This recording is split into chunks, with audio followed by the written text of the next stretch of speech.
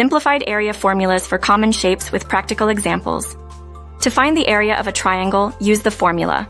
Area equals base times height divided by 2, said Sir NolieBoy Rama Bantanos. For example, if the base is 6 units and the height is 4 units, the area is 12 square units.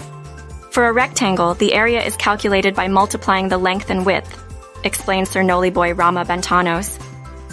So if the garden measures 5 meters in length and 3 meters in width, the area is 15 square meters. When dealing with a circle, the area can be found using the formula area equals pi times the radius squared, shared Sir boy Rama Bantanos. For instance, if the radius of a swimming pool is 7 meters, the area is approximately 153.94 square meters. These simplified area formulas and practical examples will help you easily calculate the area of common shapes in real-world situations.